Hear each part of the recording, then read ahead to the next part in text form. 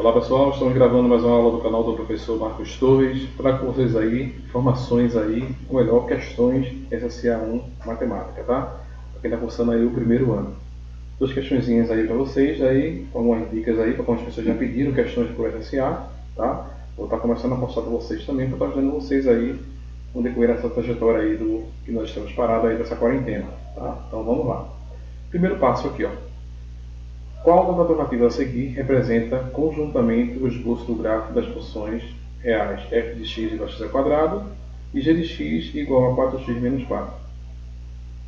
É, se você não for inscrito no canal, se inscreva no canal, tá? E deixa o likezinho aí, pessoal. Aperta o likezinho aí agora para estar ajudando aí. Aproveita aí esse antes que eu vou começar, para a gente começar para prosperar. Cadê o like? Vem ainda. Agora. Tu é fera, desse. Vamos lá. As questões. Diz o seguinte. A função o f de x ao quadrado, a gente sabe que é uma função do segundo grau. A gente sabe que quando a gente pega y, que é o f de x, tá? eu posso fazer que x ao quadrado e y igual a menos x ao quadrado. Essa aqui ela é crescente, essa aqui ela é decrescente, negativa. Decrescente, crescente, positivo. Certo? Então está observando que todas elas têm esse valor para cima. Você significa dizer que todas elas estão crescendo. Até aqui, beleza. Mas o segredo está aqui. Ó. Toda vez quando for 4x menos 4, o A está positivo, a função ela é crescente. Quando ela for negativa, a função é decrescente. Então, nesse caso aqui, ela não serve para mim. Ela vai querer crescente. Nesse caso aqui, ó, essa está descartada, está descendo. Essa descartada também está descendo. Então ficou entre D, B e C. Só que tem um segredozinho aqui, ó. Esse B aqui, esse valor aqui. A gente sabe que na função ela é f de x igual a x mais b, certo? Se você observar direito no gráfico, x e y, se colocar qualquer ponto aqui, ó, colocar um ponto aqui, exemplo, ponto 3. Esse ponto aqui, eu vou chamar ele de b certo? No eixo Y, o ponto que tiver aqui, eu vou chamar ele de B. Beleza?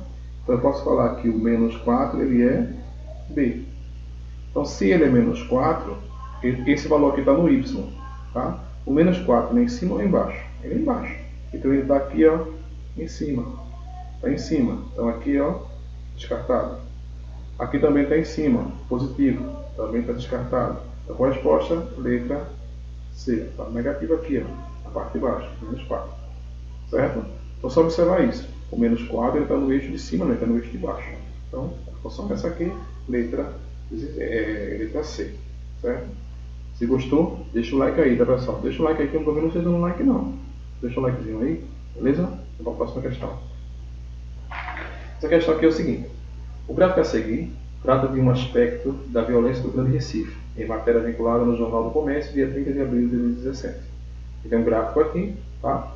Estou observando aqui o gráfico, onde acontece o seguinte. Deixa eu colocar aqui uma cor, um azulzinho.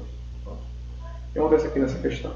Ele está crescendo, cai, cai, continua caindo, aí depois começa a subir. Aí fala assim, com base nesse gráfico, analise a sentença da seguinte.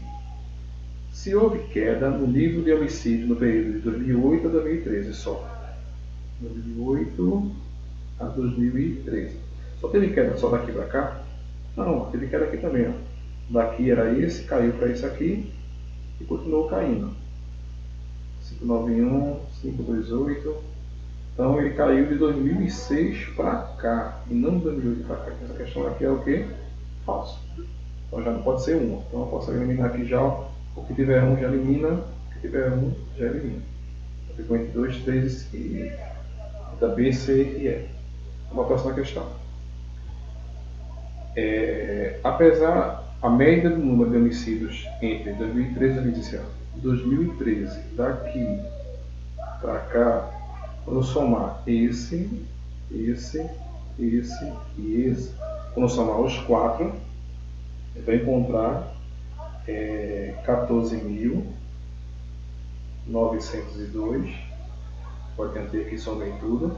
Só que eu vou dividir por 4, que são quatro valores. Dividindo isso aqui por 4, você vai encontrar exatamente 3725,5.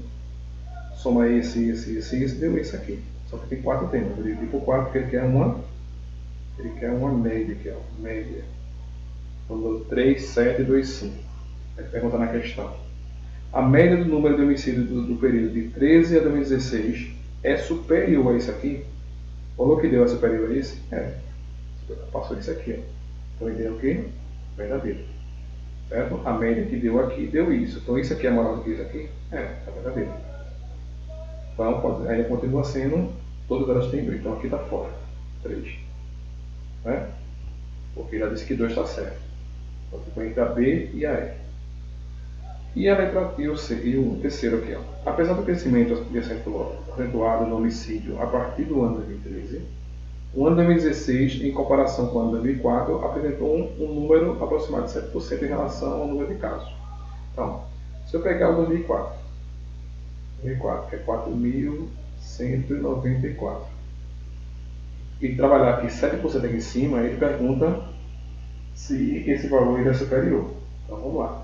Quando eu multiplico esse valor por 7 e divido por 100, que é a porcentagem, né, por 100, 7% aqui, ó. 7%, eu vou encontrar exatamente 293,58. Encontrei isso. Só que eu vou somar com isso. vou somar com 4, 1, 9, 4, 0, 0 e soma. Então ficou 8, 5, 7, 18 vale 1, 4, 4. Aí eu pergunto, esse valor aqui é superior a esse valor aqui? É, ó, 4479 e 4487. Então aqui, ó, verdadeiro. Então 2 e 3 respostas, letra F. Certo? Não tem o que fazer. Fora devagarinho aí questões que vocês dêem uma pausazinha para vocês conseguirem entender, tá? Não esquece de deixar o like, compartilhar com os amigos de vocês e se inscrever. Caso não seja inscrito, se inscreva para estar recebendo notificações de novos vídeos que serão lançados no canal. Beleza? Até o próximo vídeo e fui!